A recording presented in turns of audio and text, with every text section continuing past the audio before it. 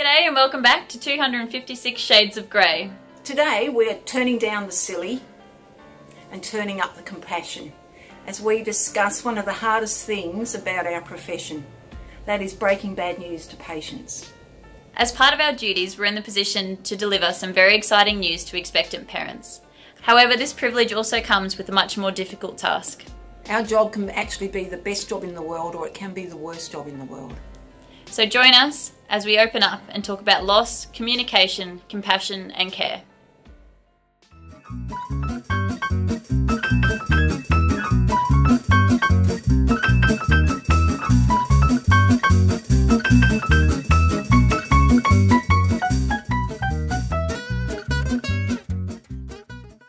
So, when I get a first trimester patient in for query dating, the first thing I say to them before I put the transducer on them or anything, I let them know that not all pregnancies go according to plan.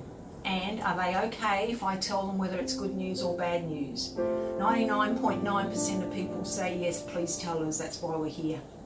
I think one of the vital things to do is acknowledge that they're anxious, especially if they've had some bleeding, because they're worried whether there's a miscarriage or what's going on in there. So I always say, look, I know you're anxious. I will let you know what's happening as soon as I can. But before I even scan them, I'm going to tell them that I might not be able to see everything as well as I need transabdominally. And we might need to do a transvaginal ultrasound. So I'll go through the procedure about the transvaginal ultrasound, let them know what's involved there, ask about whether they're allergic to latex, just so that if we get to that part of the scan, we don't have to faff around doing other things, that we know we can just go straight to the transvaginal imaging. And before I turn any monitor on, I have a look and make sure that there's a fetal heartbeat, or at least what appears to be a normal early pregnancy. And the same goes for every trimester of pregnancy. That monitor doesn't go on until I've seen a heartbeat and a head and every, you know, sort of in that quick scan through. So I'll say to the patient, I'm going to have a quick look and then I'll start talking to you about everything. And if I'm quiet, I'm not worried, I'm just focused, concentrating on everything. And then I'll eventually, once I've seen what I need to see, the TV will go on and I'll explain everything to you. And I get Linda Frowny face too sometimes, that's when I'm concentrating. That's Linda Frowny face. So it's feel that I say when I get patients in is much the same as, as what Linda said. Very important to make sure that we can reduce the levels of anxiety that the most expected parents have, especially first pregnancy doesn't really change, second, third, fourth, 100th, it's all the same. Everyone's a bit nervous, so we try to keep it um, as simple and as um, compassionate as we can, make sure we're caring as much as we can. Breaking bad news doesn't necessarily have to be within the first trimester. Sadly, it can occur within the second trimester, even the third trimester. Um, so we have to be aware that no matter when this occurs, it's always heartbreaking and it's always life changing for them, no matter how many times we've seen it this can be their first time that any of this has happened. If the couple are together, then um, that's great because they've got the, the support and leave them alone to come to terms with it if you can and allow them to leave via an exit that isn't through the main waiting room if that's possible as well. And if you need to ring their referring doctor, you can tell them what their next step is, whether to go back to their doctor straight away or if their specialist wants to see them that afternoon. So you've got to just leave other patients waiting if you have to because this, this couple or this patient is the most important thing at that time. And be prepared to reach out to them. If there's the lady is by herself, I've often said to them when they're leaving the room, look, do you want a hug? And honestly, most of them would just like a little hug because they feel lost. They're completely at odds with everything that they thought was going to happen when they came in to see you. We have to be prepared to show that we have feelings and that we're humans as well. Yeah. And people just want hugs. Very much so.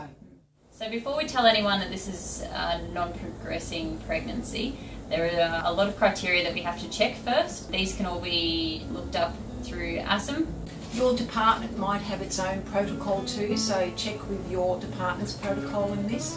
Uh, as per the guidelines by ASM, pregnancy failure can be diagnosed under either or both of the following circumstances. So if the mean sac diameter is over 25 millimetres and there's no live fetus seen within the gestational sac, uh, using the criteria of the crown to rump length, if there is a fetal pole measuring over 7 millimetres without any fetal heart movements, uh, this can be classed as a pregnancy failure. Um, you must sit on that little fetal pole for over 30 seconds and make sure you're watching the area where you think the heart would be, um, just to double check that there is definitely no heart movements.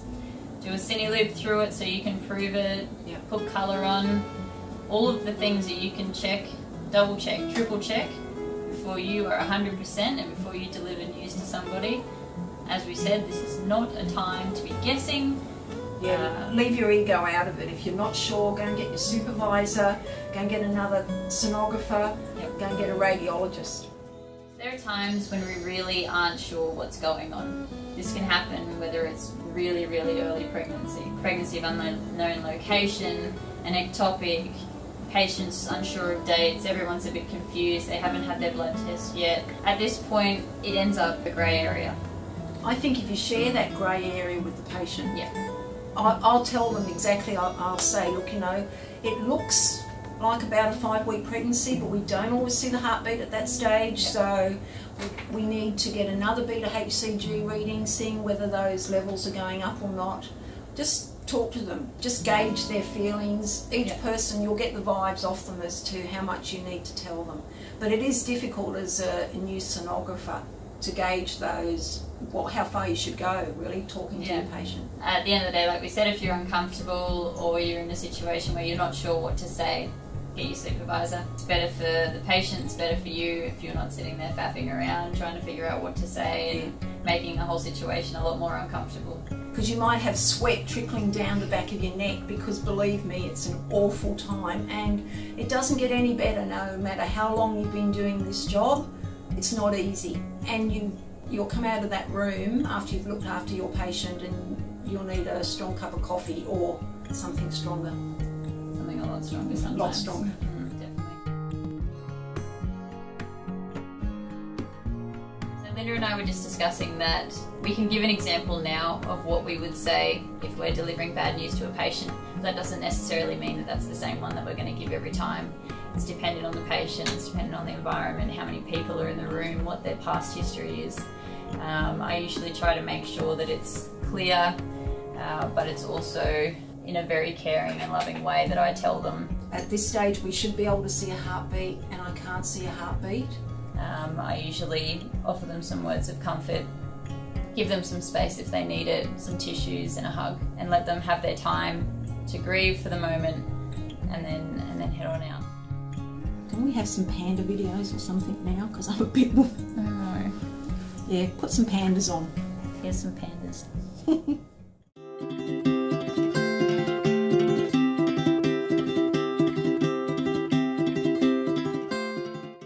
So during our day as sonographers, we can see sometimes up to 20 patients, 20 different lives, 20 different personalities, and 20 different situations that we're very involved with. As much as we need to care for others, we also need to care for ourselves and look after our own well-being. As a dear friend once said to me, we have to put on our own oxygen mask before we help others around us. Thank you for joining us again. Hopefully you learned something and gained a bit of a deeper understanding as to what happens behind closed doors. So, once again, let's raise those probes and Cheers to sonography. Did I get it right this time? you got it right. So like and subscribe and we'll see you next time. okay, with a lighter subject, hopefully. Yes. Bye. Bye.